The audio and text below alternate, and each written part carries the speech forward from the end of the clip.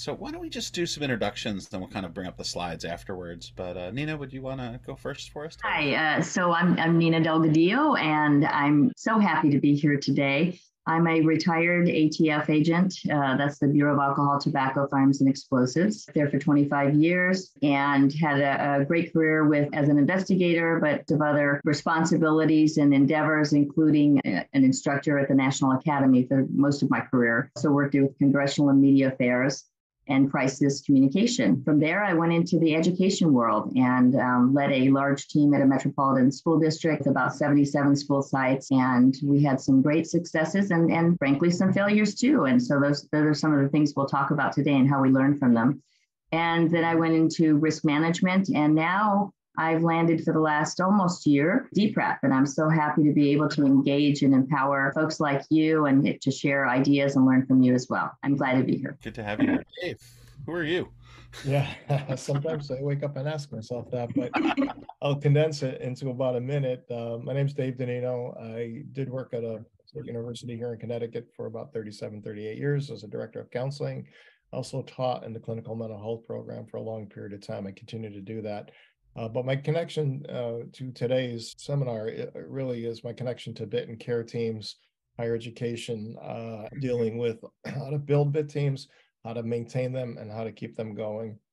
It was foundational in that I helped uh, build the one that was at Southern a lot of years ago. So, and also with D-Prep, uh, I have a background in emergency response as well. You heard me mention not going to California, but I've been doing emergency response work since the Twin Towers went down as a uh, in New York as a as a disaster mental health uh, provider on scene uh, for shootings, uh, floods, bombings, whatever the need might be. So I've been there, and a lot of what we're talking about today is about how you manage well, how you go back and remanage well and how you go back and remanage well yet again. So it's nice to be with y'all today. Absolutely. I also see Karen on the call today. I'm sorry I'll embarrass you out, Karen, but another one of our consultants who does work in resiliency and support for first responders and uh, many other things as well. Um, Karen, if you wanted to say hi, we'd love to hear from you. Hey, everybody. I'm so glad that you were able to make it out to this meeting today to discuss some really important things. If you've watched the news lately, you know exactly why we're here.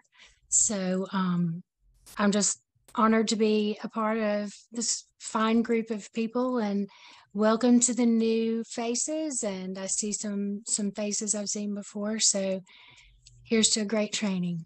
Awesome. Thank you. All right, so let's pull up some slides and we'll kind of jump in here and get started.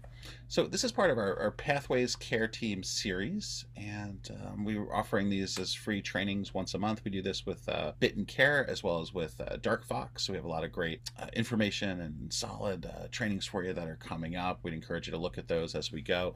You see David, Nina, and I here listed, and I'm happy to share some of these concepts with you. As I mentioned, this topic is a little more, I want to say, advanced than some of the other topics that we've talked through. So I want to just, um, I think, be aware of that. So if you're kind of new to this topic, I wanted to make sure that you were comfortable with um, knowing that we're going to talk about a slightly more advanced topic. But as always, we'll try to bring it back um, to some uh, basics and uh, understanding as we go. So this program really is based on some important concepts that we have borrowed from, uh, read in, in these three books. One is the logic of failure, the other black box thinking and, and mindset. Part of this, I think, is uh, as we go through programs and discuss things, the the idea of continual learning and training is just so important. So um, these are books that I'd, I'd, suggest having on your bookshelf as a plan to read. I'd probably say Black Box Thinking is one of the more accessible ones. Uh, the logic of failure is great. Um, it does have a slightly deeper dive in some of the content. So, um, a good book, but probably one that's a little deeper on this. So, we'll borrow from all three of these concepts and, and jump through. Let me talk through the, the basic concepts of the first text here. When we think about BIT and care teams, one of the things that we need to appreciate is these are complex systems that don't always have an immediate consequence to difficult or off. So, essentially, if someone violates a rule that we all all would agree is a best practice for the bit, there often is not an immediate ill effect to that. And I think about uh, bicycle helmets as a really good practical example of, around this. And for my EMT and doctor and medical friends on the call, let me say really clearly people should wear helmets. That's super smart. However, the issue with helmets is it's an intermediate occasional it's a catastrophic problem that happens but most people are not going to have a immediate thank goodness i fell and there's this big dent in my helmet and this saved my life experience it's something that they're not getting a lot of feedback around. And in fact, we also have a situation where they might have positive feedback for not following the rules. And this is a funny way to think about it, but not having to deal with putting a helmet on, having your hair blowing free in the breeze is kind of a reinforcement strategy for this bad choice. And what the logic of failure puts out there, I think, is there's been several major problems that we've seen, major catastrophes that are not the result of one small issue, but really a larger way of a lack of reflective thinking in this space. The Challenger space shuttle explosion, the Chernobyl events are two examples that they're given in the book of catastrophic failure that occurred not because of a singular issue, but because, and I use this term cautiously, kind of a failure of management, a failure to the look down the road and around the corner. A failure to appreciate that in complex systems, we need to be paying attention to all of these things coming together. Uh, when I think about this too, as a family therapist and a couples counselor, I think there's some great work in this in cybernetic theory around uh, the identified patient. If you're a counselor and clinician, you've heard this phrase before. It, it's never just that one person who's the problem, right? It's often the family system. And a good family therapist is one that can look at the totality of that. Before I talk about an example in a bit, I, I want to kind of pass to Nina and Dave, whoever would like to go first, and maybe just talk about you know your understanding of other complex systems where there maybe was a failure or an issue that occurred. You know, maybe the Red Cross, maybe a bid or care team, a counseling center, through the ATF, uh, law enforcement, where you know this idea of a complex system because someone wasn't looking at the the larger issues, we saw some failure that occurred. I don't know if anything comes to either of you. So, so you know, this happens in in every um, every occupation, every professional group, where we have a tendency to say, okay, we're we're good at what we do. We continually train. But the reality is, we learn every time we go out and do things, right? You know, you can have epic failures in your organization, and it's really about learning from them and moving forward and making sure that they don't happen again and, and, and helping others understand that failures are what makes you better. It, it's, it's, it's not always that it makes you better, but you can certainly learn from them. And that's why we do these after action reports. That's why after every shooting, there's an after action report that's really delved into to see what are steps we could have taken to mitigate this risk better. So I know that's a little off topic as far as you know law enforcement, but I just want you to know that in every part of life, um, it's applicable. And, and that's why even moving on uh, exercises, when you do these mass casualty exercises with uh, folks from mental health and from first responders and from life flight, it's important that all of those people are at the table to experience this together because we have the opportunity to make mistakes in those scenarios too, to translate to later in, in, in actual events. And Dave can speak a lot to that. Yeah, I'm going to echo a lot of what Nina said, but you know, I think you said something earlier, Brian, that dovetails very nicely, and that is that you wear your bicycle helmet or your motorcycle helmet every day because you don't know when the, the day uh, is going to come when you really needed to have it on. So you have to uh, have a team approach where everybody has it on all the time and, and it doesn't waver. Uh, but certainly, kind of in a, a, a nutshell, uh, you know, complex teams need follow up. They need review. And my take on that would be, and I think Karen would know this as a responder, and other responders that are on the uh, on the call today. We think daily in terms of what's immediately at hand, what needs to be fixed. One, number two, needs to be fixed longer term. Longer term meaning next day or next week or next month all of that is characterized when we have issues in participating as a team and many different people coming to the table. And I can tell you, BITS do that, care teams do that. There's lots of different orientations, if you will. The Red Cross does it with different people coming from different agencies. We have uh, that end of the day meeting, which Nina described. Uh, we affectionately call it a hot wash. But after the exercise, we have to go through everything and say, what can we do better next time? What did we miss? Not purposely, um, but what did we miss and how can we regroup from that? And I think that when you apply that to team structure, particularly with bit and care teams or monitoring teams, if you're applying that weekly or quarterly and you're reviewing things, you're going to be in much better shape because you're bringing six, seven people into a room anytime you meet. with six different ideas about what should be done. And that has to be corralled and monitored and done correctly for whatever it is that your work impacts. I like the idea too that this is an organized process. I think that's a great place to, to have it occur as well. I think um, we don't want to have a situation that erupts into chaos. Nina, how do we define chaos in the law enforcement space? Do you know that one?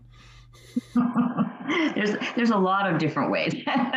oh, I've, I've I've heard the uh, the chief has arrived on scene is the one but but I appreciate you not saying that, letting me into the outside side.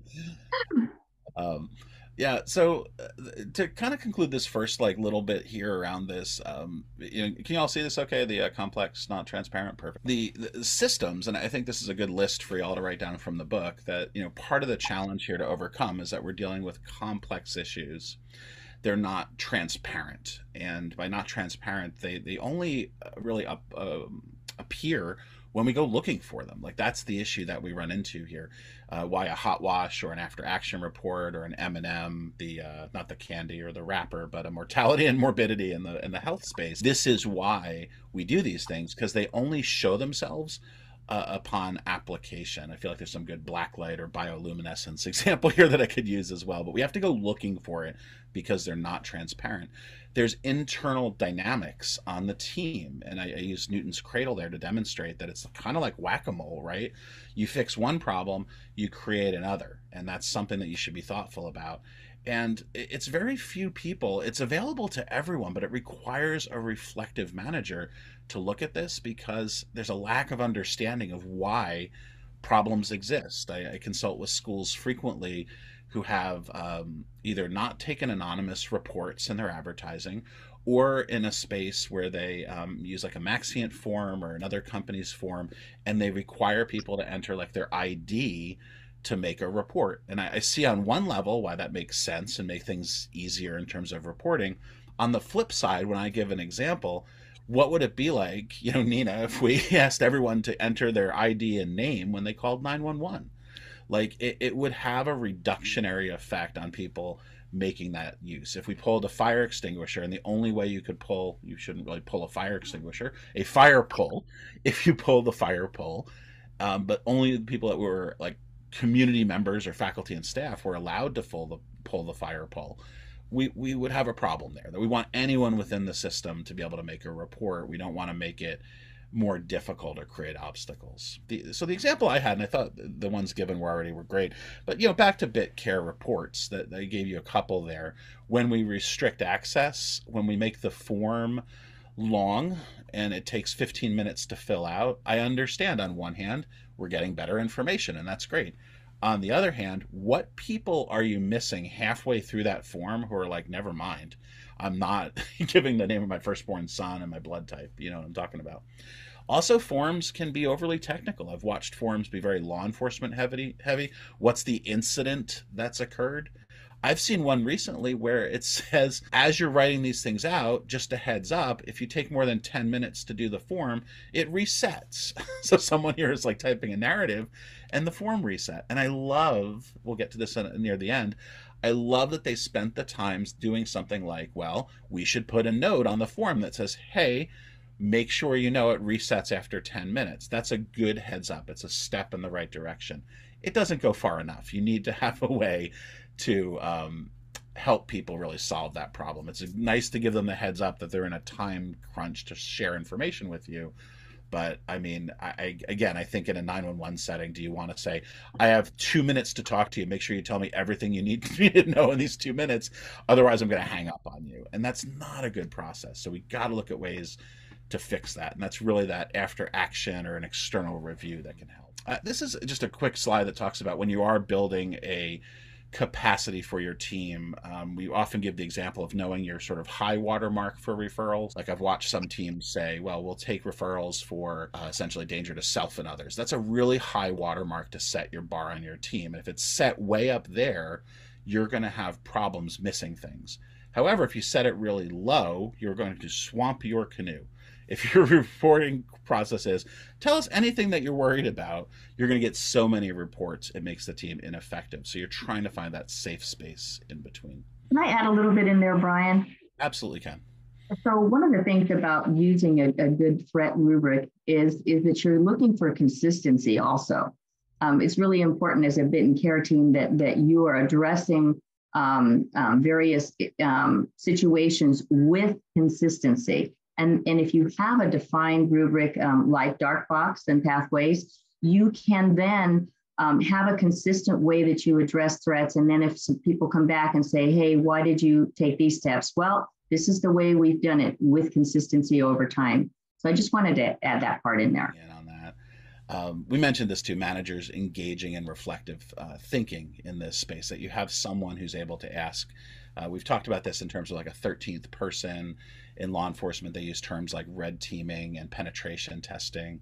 Um, the, the basically the person who sits there and says, you know, have we really thought about the broader implications of this or you know when we don't do this consistently what does this do for us the the black box thinking is a lot easier in many ways uh, this is an old timey picture of brian uh, snowboarding with my brother and his wife and my wife um, I, it was I remember this fondly. Um, I would fall down a lot when I was snowboarding. If anyone's snowboarded before, you know it's very kind of different than skiing. You're often in a space where you're falling and doing jumps and tricks and things. And, you know, when I was doing this a lot, it was great. My parents had this point where they were like, hey, you seem to fall a lot, Brian. Like I get off the lift and I'd be covered in snow because I'm out in the trees, I'm jumping off things, pulling 180s, all that And you know, I had this like moment of wisdom younger in my life where I was like, yeah, when you fall, it's showing that you're trying to do something that you weren't so good at. If you go through this without falling, eh, you're really not learning you know, and that's important. There's a great video I use um, for teaching applications on YouTube. It's called Life Equals Risk. You can find this, I think, in the chat. It's um, it's another one that kind of highlights the importance of learning from feedback, learning from our failures. So that, I think it's an important way to look at this. That we don't want to um, really have these catastrophes. We don't want to just take chances all the time, but calculated risks can be useful here. Uh, we see this in sports ball analogies. Uh, we see this with gymnasts, you know, perfecting their routines. If every time a gymnast fell or hit the what is it, the high horse or the bars they hang on to, my, my knowledge of sports is limited. Um, they, they see these as opportunities to turn differently, to hit things differently, to grasp a pole vaulting pole differently. So they don't see failure as like, oh, I failed, I'm worthless, and walk away from it. I think that's an important piece here. Um, same with like post game re- review, um, looking at past um, plays, looking at improvements, looking at ways we can uh, do this well. In fact, for, for Nina, Dave, and I, when we do trainings, that it can be a slightly painful process, but by watching some of our past trainings, we catch things that we do that might be annoying. Um, that right there is going to have to get edited out. The um, when you're not quite sure what to say and you're transitioning, can be annoying and frustrating. I catch myself doing that. I pay attention to it, and then I try to move myself away from it.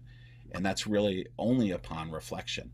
The aircraft industry with black boxes, having a black box not only for the flight data, but also for the radio and the communication and the human piece of these things. I always find it interesting the black boxes are not black. Um, I think that's interesting. This is part of how we look at failure. Two places that do this poorly are courts and hospital. And they see failure here really as a shot at someone's credibility, as some that we shouldn't fail. If you're a neurosurgeon, you can never make a mistake. And that does create these what we call fixed systems that aren't willing to grow and improve. Same with the court. A failure becomes a part of vulnerability. So when we think about errors, we can think about casting blame. So the last time something went wrong on a team, someone didn't write the notes down, there wasn't a clear analysis of the rubric. We had a case that never made it to the team. This is a common point of lawsuits. We get into these places where we harshly judge these individuals, and that's not a good place to be. Instead, we want to be in a place, hey, here's our goat, right? We want to avoid scapegoating. You knew a goat was going to appear at some point. And um, in top of avoiding scapegoating, this is another one that the book brings up, is avoiding oversimplification of the problem. This is why we failed. When, when in actuality, it's a multiphasic problem. It's not as simple as this uh, we didn't use the rubric on this case because it really gets into do we have enough time to use a rubric on every case? Should we be using a different rubric that would help us do that more efficiently? Does the rubric lead to clear interventions that we can then check off? So that's where we have this idea. And if you watch that video life equals risk part of this is promoting um, a, a, good visual for success is the band-aid that this shows someone who has tried who has failed and is back at it again. Before i talk about what we want to do here i guess I'll kind of pass again to like nina and dave see if there's some thoughts that they have on this as well. Because I, had a thought about failing and getting up and doing it again. Failure uh, versus a mistake you know are they different? Uh, is the gravity of, of failure heavier than the gravity of a of a mistake? But I, I, really think of it in terms of especially large complex systems um, and drill it down to BITs and people who care for others, you know, six, eight people on a team. If you've not done anything that's going to be um, uh, Ill- illegal, criminal, uh, or do harm to a person, it's simply a mistake. And, you know, that can be overcome, it can be rectified, it can be talked about. Um, so if processes don't work, um, and the the impact doesn't um, land on on uh, the detriment of a person in terms of impacting their life or, or harm to them, uh, or it's not criminal or it's not illegal. Now I'm in Nina's area, but um, but if it's not that, it's not catastrophic. Really, it can be it can be fixed, it can be mended, and it might seem uh, painful at the time, like the scrape on the knee and the little kid you put the band-aid on and you go back out. Uh, but uh, the message is don't um, don't become over over invested in in, um, uh, the gravity of that mistake, but look at it and say how can it be done. And often, it, uh, I think this is brilliant, Brian. What you said, it's not one person generally that falls down on a job. It's a systemic approach to training and getting things done properly that fails most times. So that's my minute. That, that's all true. I mean, the other thing that it kind of touches on for me is is thinking about like the the components of emotional awareness and emotional intelligence being self-aware to make you make sure that you understand it's a core of everything it's your ability to look at your own strengths and weaknesses and how you improve that over time right as a team as a bit team that you're involved with or any other team that you're a part of that you're constantly looking at yourself to see what your strengths and weaknesses are. And I can tell you my my weakness is technology. I'm constantly asking Brian and Bethany, hey, how do you do this? So because that's not my strength, but I know it and I I address it and I I hopefully get better every time with it. I think the first time that I did a Zoom meeting for Brian, he was so shocked that I that I created the meeting. so you know that's part of emotional intelligence, that and self management um, making sure that you have ability to understand and read emotions of others and, and how you can change that moving forward. Social awareness, how you are able to read a room and say, hey, what's going to apply with this audience? What's the best way that I can reach out to them, right? And finally, the relationship management, how you are able to coach and help others. And that's really why we're here today is to help coach and relate to you and also you know get feedback from you and we learn things as well or do i love that nina. I, the, the actual quote in case people were curious was uh, and excuse my french uh, holy shit did you just send me a zoom invite? Because it blew me away. And nina uh, beyond being humble and i think having some grace knowing what is you're good at and bad at like just having the genuineness and the authenticity is a goal i think all of us should aim for in terms of what we're good at and what we need to do some work on. If someone asks you, hey, what are some areas that you need to improve? And you're like, I don't really think there's any. This is exactly what we're talking about in terms of reflective management and leadership that you really should know. And listen, we'll all be on somewhere on that you know, stages of change in terms of how far we're moving along that list of uh, improving and changing and, and making improvements on things. But to at least know where those hotspots are, I think becomes uh, critical as well. So, so uh, last couple slides here, and then we'll jump into questions. Thanks for your uh, patience as we go through the content. I think it's good stuff. Promoting learning from failure. We want to create a process within the bit, within the college, university, in our friendships, in our community, wherever this applies, where there is a, and I like this uh, picture a lot because it hits sort of the, the play on fair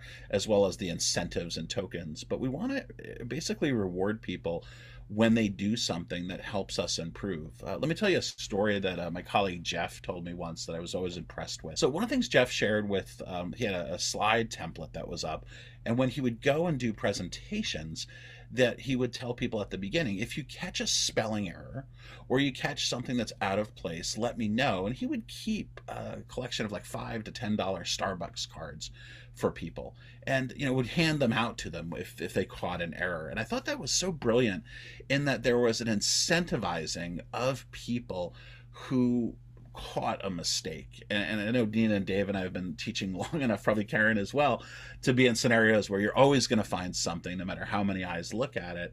And on top of that, being in a space where you've all probably had someone come up to you after a presentation, and sometimes they're nice and they're like, by the way, I'm an English major, and I just, here's this list I made while you were talking of all the things that were wrong. And that is exactly the kind of things that we want to incentivize and encourage. Nina, I'm going to share a story that you're not going to love, I'm sure. The other day, Nina was like, Brian, one of the pictures on the homepage for D-Prep of you kind of has your eyes closed or squinting. And I, I don't think it puts the best foot forward on you as a presenter. And I'm like, thank you. And I, I really do treasure that she let me know that and the picture immediately got taken down and i'm looking for other pictures where i'm opened my eyes a bit more and and it's that kind of stuff to not take that personally but instead to see that as an opportunity um, and this process they talk about gathering data continually, talking to people about how we can be better, analyzing the errors. You know, is this a good picture? Is it a bad picture? How do we fix it? And I love this ad that they have around fixing. Do a tentative fix, see how it goes, and then spread that fix, propagate it, if you will, more broadly through the system. What I hear them talking about here in this is the idea of beta testing. Let's try it out with a small group and really make sure that this works. Uh, you think about COVID. This is why everyone at the beginning was like, here's a vaccine. We really hope it works well. Um, there's a, a, amazing Stephen King story, and I'm going to test Bethany's ability to put this into the chat.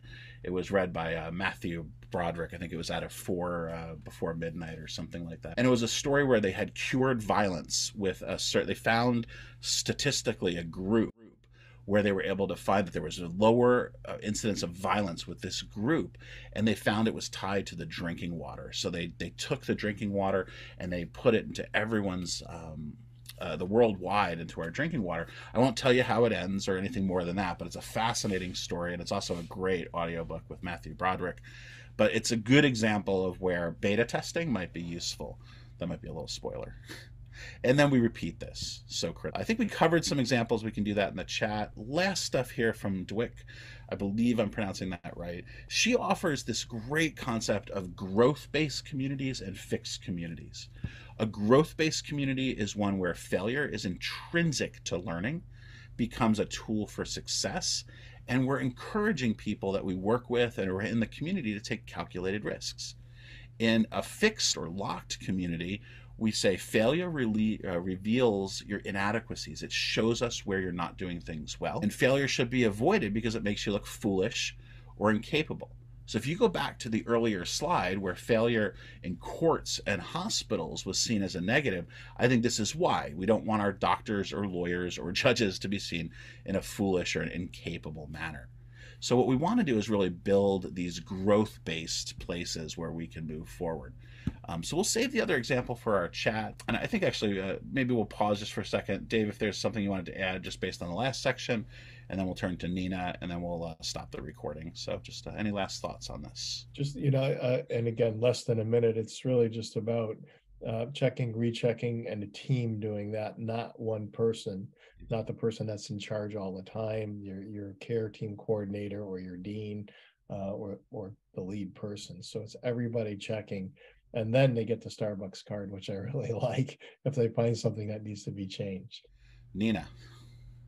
Uh, you know, I, I, I think everything's been been discussed, but I I think that just making sure that everybody is open to the fact that you know we're all vul- vulnerable in some way. Everyone is. Everybody has an armor up, but we're also very vulnerable in some way. So just kind of making sure that we understand that you're what you know when when people are bringing forward information that might be a little hard to stomach sometimes. But in the end um, if they're doing it in a kind and compassionate way and a way for the better good you realize that it's going to make your team better. And it really is going to make you better as a person. It's going to it's going to develop some trust within the group to say you know I, i'm able to say to brian hey brian I, I, I don't think that picture looks great. I don't think my pictures look great. But his eyes were closed in one, and it was really hard for me to say it. But I feel comfortable enough with him to be able to to you know impart the information and think that he can receive it in a positive way, which absolutely he did.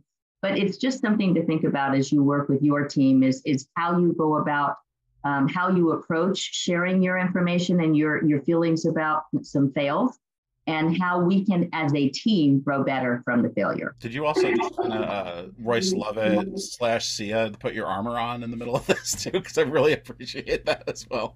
I think we need like a soundtrack going here. All right, let me stop the recording and then we'll uh, get into some conversation.